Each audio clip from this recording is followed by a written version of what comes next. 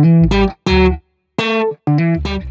day everyone and welcome to the lecture series in differential equations. So we have differential equations.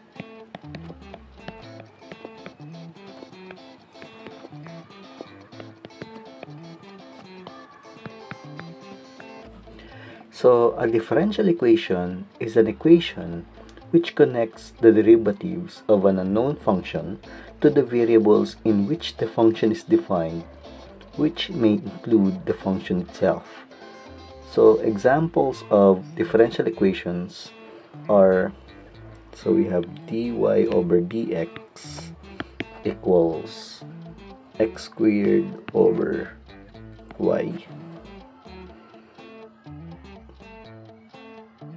also we have dy over dx equals uh, negative 0.075 y cube or we may have e squared y over dx squared minus 3 dy over dx plus 4y equals 0.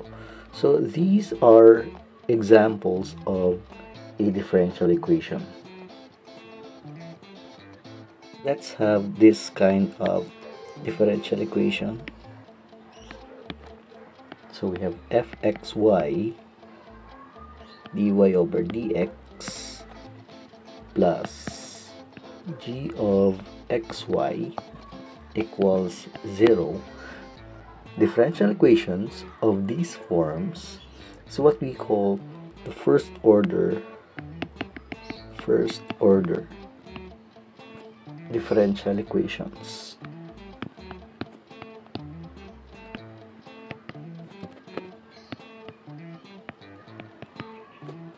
Since the order of this equation is 1.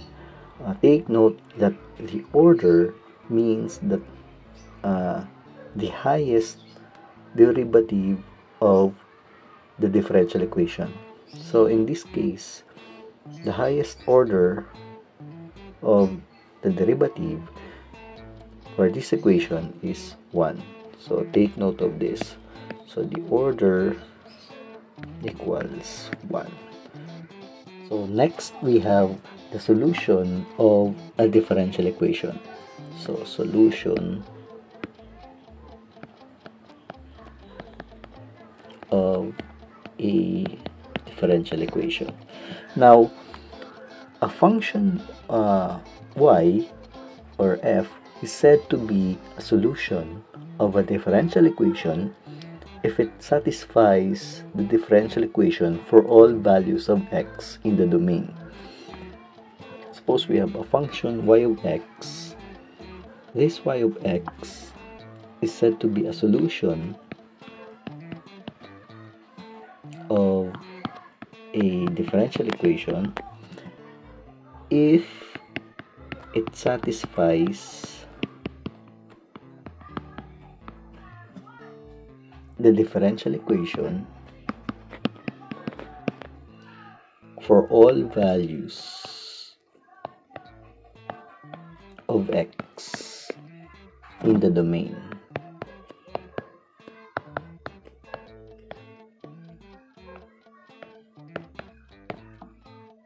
Let us take this example. So suppose we have y equals c1 sine 2x plus c2 cosine 2x. So let us check if this y is a solution to the differential equation y double prime plus y equals or 4y equals 0. So by definition of a solution of a differential equation, we need to check if this y satisfies the differential equation. Now, to check, let us take first the derivative of y. So the first derivative. So we will have 2c1 cosine 2x and then the second term we have minus 2c2 sine 2x and then after that let us take the second derivative. So the second derivative would be minus 4c1 sine 2x minus 4 c2 cosine 2x.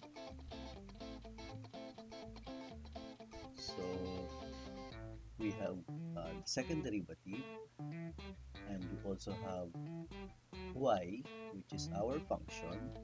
So let us now substitute the given values. So we have y double prime plus 4y. So this is equal to minus 4c1 sine 2x minus 4c2 cosine 2x and then we have plus 4 and then we have the function y. So we have c1 sine 2x plus c2 cosine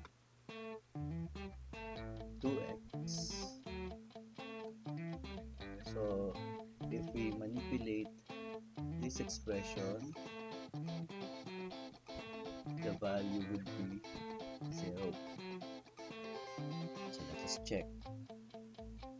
So we have minus 4c1 sine 2x minus 4c2 cosine 2x and then this will become 4c1 sine 2x plus 4c2 cosine 2x so equals 0 so this must be implies